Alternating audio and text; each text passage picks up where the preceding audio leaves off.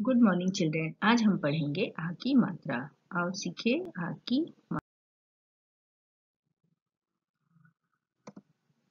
आ से आम। हमने पिछली कक्षा में क्या पढ़ा? आ से आम, त से आ की मात्रा लगाकर, र की मात्रा में आ लगाकर बना तारा।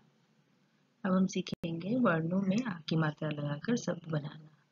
आ प्लस जा प्लस आ आजा छ प्लस आ प्लस त प्लस आ छाता ब प्लस आ प्लस द प्लस ल बादल अ प्लस न प्लस आ प्लस र अनार ग प्लस म प्लस ल प्लस आ गमला ब प्लस आ प्लस ज प्लस आ प्लस र बाज़ार र प्लस आ प्लस ज प्लस आ राजा म प्लस आ प्लस ल प्लस आ माला अब हम पढ़ेंगे आ मात्रा के वाक्य।